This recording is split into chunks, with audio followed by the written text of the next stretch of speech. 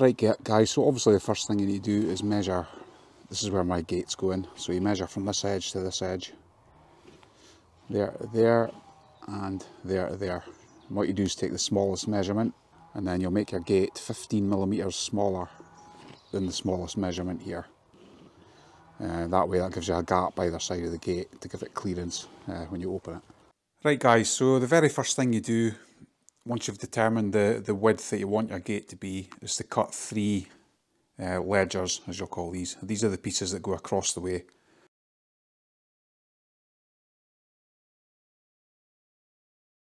So say our gate is going to be 900 millimeters wide for instance, you would cut these three pieces at 900. Right, now because I make these all the time, I've actually got a jig here. But if you obviously if you don't have one of these, um, what you would do is just lay your timbers on the on the floor.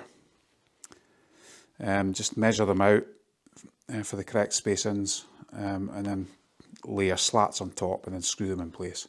Okay, so you'll see I've just uh, laid these on here.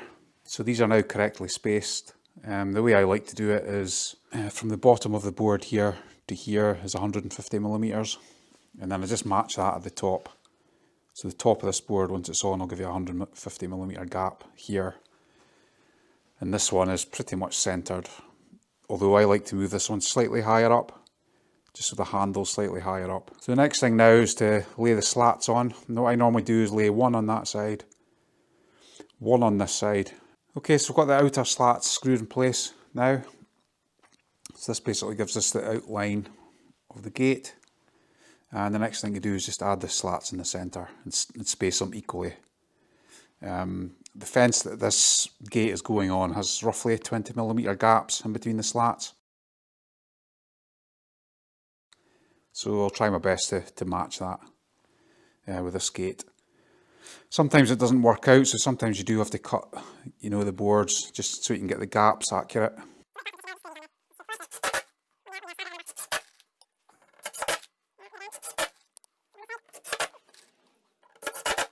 So that gives you that.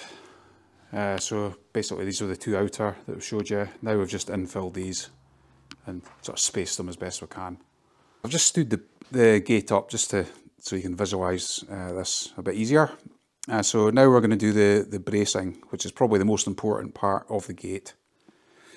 Um, I've actually got a, quite a detailed video on, you know, all about bracing a gate. I'll leave a link there. So maybe it's an idea to watch that before you continue further with this process. You know, an easy rule of thumb is whatever side your gate is hinged on, you put the brace at the opposite side and hinge it back towards the the hinges. Um, and this is called a compression brace. So that makes it harder to compress the gate, which you, you know, you'll see some people bracing them this way and you can still compress the gate and it sags. Or some people don't even put a bracer on at all and it'll just sag over time. Right, so got the gate back on the bench. And uh, what you need to do now is get the same materials you've used for your ledges here. So again, this is just a bit of fencing rail. Cut it roughly to, to size and lay it across uh, the gate, whatever you know side you want. But my hinges are going to be on that side, so obviously I'm bracing it from there. But if your hinges were going to be on this side, you would brace it from that corner back towards your hinges. Leave roughly about 10 millimeters there and the same at the bottom side. And all that's for is so you can visualise when you put your straight edge across here, just describe this. You get the idea, so you, you can see that there. And once you get that totally lined up, you describe a line along there with a pencil. We'll do the same up there. So again, the centre for, for instance, you would line that up in relation to this, scribe that line, do it the same here, scribe that line, and the same here scribe that line and that will be able that will enable us to, to cut those angles. Um, it's also an idea when doing it this way is to mark this here. So I'll do that just now. So just get a pencil. Mark either side of this.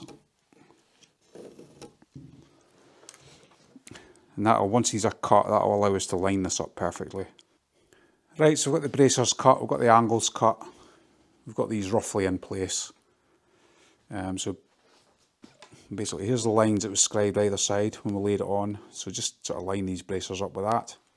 Okay, so what I'll do now is I'll lift this bracer out and I'll cover the ends in D4 wood glue.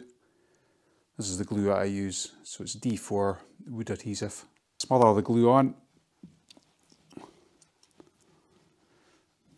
Don't be scared, the more glue the better. So on that end, then on the other end.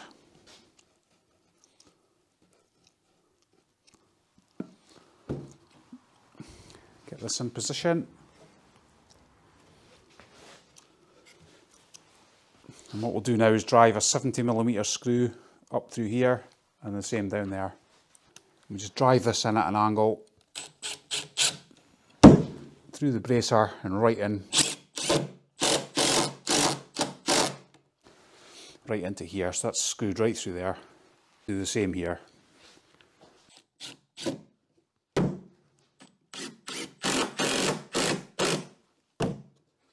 That's that. And then we'll do the same process for this brace here. So that's these screwed in place. We'll just wipe off the excess glue now. It's important to get the glue off because it does actually stain so the next process now is flip the gate back over and then we'll screw these slats to the bracer that we've just installed. So I'll do that now. Wherever the bracer hits these slats, screw the slats to the bracer. You know, all the way down. Right, so that's the gate done. Pretty much the construction all finished. Very simple, very straightforward. Probably the easiest type of gate you can make. Um, the only consideration now is uh, what side to put your hinges. So normally when I'm doing a fence, I'll have the gate opening in towards the garden. Uh, but on this occasion, uh, the, the customer wants the gate opening out the way. So because the gate has to move out the way, I need to put the hinges on the other side of the gate. Um, but if you did want your gate opening in the way, you'd put your, gate, your hinges on this side. Coming to fit the hinges, um, as I explained earlier, I, I want this gate to open out the way, so that's why I'm having to put the hinges on the this side of the gate the only thing to say about hinges really is if you see this little notch here, if you line that notch up with the edge of the gate, so if you can see that, see where that's lined up, make sure the hinge is central to the rail, which you can see under here, get it roughly central, these lined up and then just screw in place.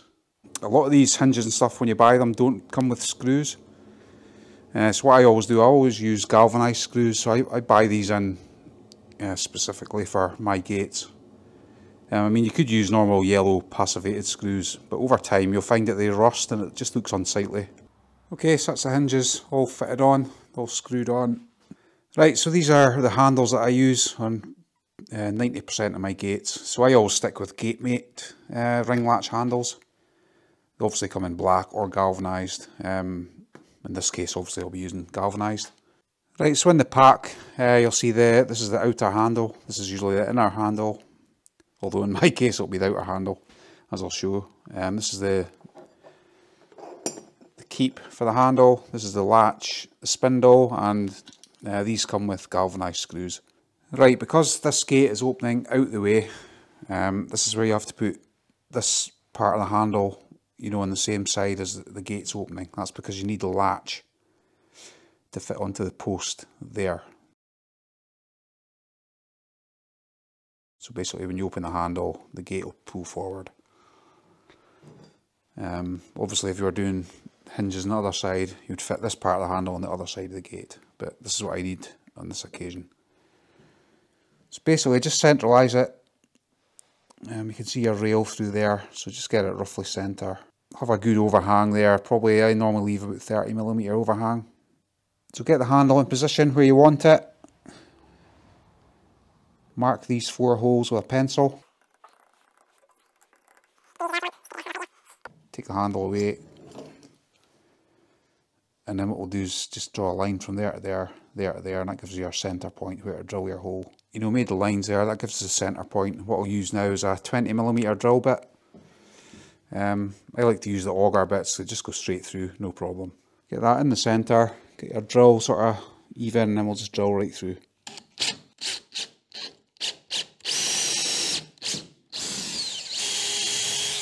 So we've got the hole there and all that's for us to, to make room for the spindle to go through to catch the other side of the handle. So I've just tidied up that hole with a, a Stanley blade. Now what we do is put the handle and just match up these holes with where you marked before. Okay, so that's the handle screwed in place. Um, with the keep, just set it back slightly from the edge and have it set so your handle's basically running 90 degrees to, to the gate. So that's that, all screwed in place. So now what we need to do is flip, flip the gate over and then we can fit the other handle on the other side. Right, so we've got the gate flipped over, um, we've fitted the spindle through the hole, which then goes into the handle on the other side. Um, but what you'll find with these, these always need cut down. So if you put, so there's that handle on that side, you can see that gap there. So measure that gap, which looks to be about 15 millimetres or so.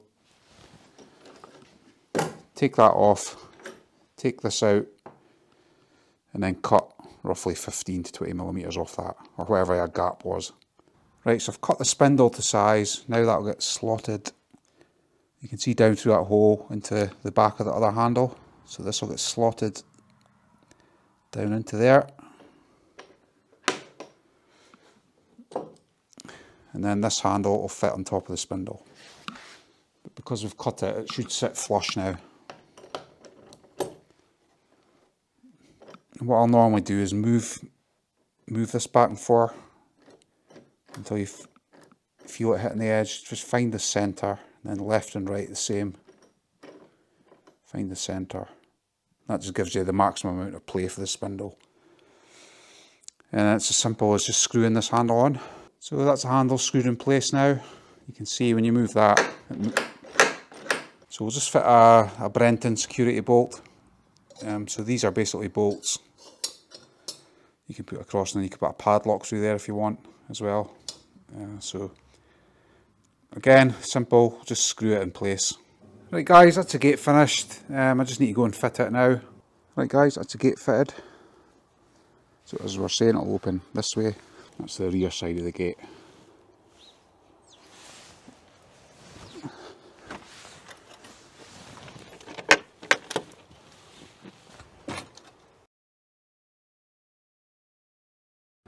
So hopefully you enjoyed that one guys, hopefully it helped you. Um, if you liked the video please give it a thumbs up as always and please subscribe to the channel. Thanks a lot, see you later.